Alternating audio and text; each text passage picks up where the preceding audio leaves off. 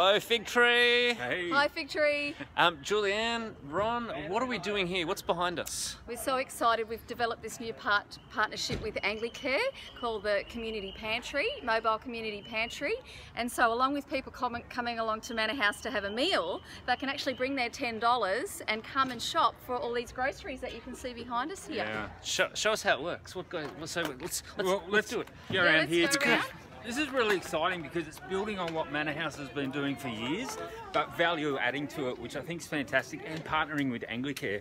People rock up here, they register with us, they're welcomed by the wonderful Manna House community.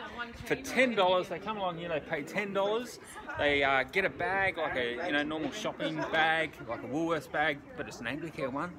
And then what? And then, and then they come in here. They come here. around here, all the time being guided by our wonderful staff.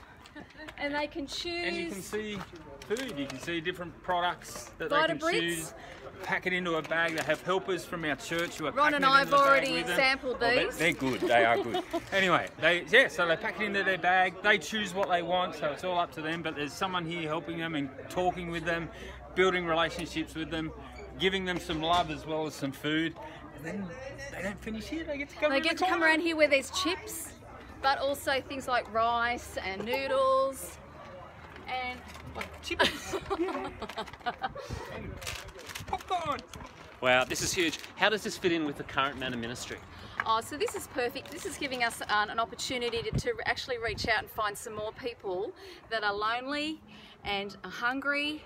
And so we just like, feel like it's going to kick boost our ministry and also then give our current people that come another opportunity to be fed. Um, so yeah, it's just wonderful partnership with Anglicare. So thanks Anglicare. Yeah. Awesome. And um, what do you want to let the congregation know then? Can they, oh. how can they support? What can they? Oh, be praying. Be, I mean, pray. there'll be more. We, we imagine there'll be more people coming on site, which will mean that we want more helpers, particularly with Manna, potentially down the track. So be praying for that, but also be praying for the opportunities for us to speak about Jesus, because that's Oh, why we're doing this. He's about making things that are not right in this world good again. That's what this is about as well. So be praying that people get that, and we get opportunities to talk to people about who He is and how great He is. And that as people come through those doors the first time, that they'll feel the warmth and love of our community here at church. That'd be wonderful. Awesome. This is FAC on mission.